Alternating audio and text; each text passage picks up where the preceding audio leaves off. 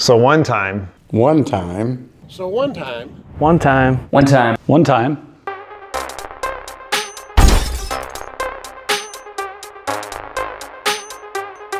I like dogs.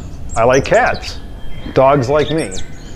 I go to this inspection, and the seller of the house opens the door, and her dog walks up, and I'm petting her dog, talking to the seller, and the dog starts to walk out the door, and all of a sudden the seller gets this look of panic on her face and says, "You let my dog out." And I look down at the dog and say, "Come back in."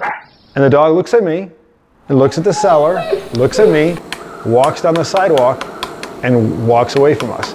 And I look at her and I said, What kind of dog is that? Your dog doesn't listen.